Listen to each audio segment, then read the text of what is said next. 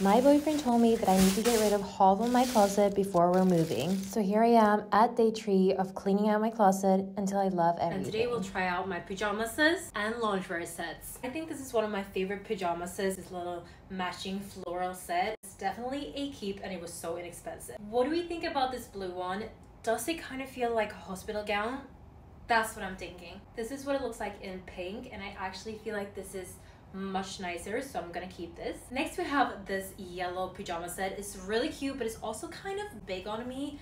Let me know if you think i should donate it or keep it. I can't really decide myself. Next we have this set. It is a little bit see-through. However i love the stripes so i definitely think it's a keep. Then we have this really cute two-piece set. We have beautiful like little lace and bow details. However the shorts are just so so short in the back. I don't really feel comfortable so i think i'm gonna donate it let me know if you would have thought anything else. Follow if you want to see me try out all my loungewear and sweatpants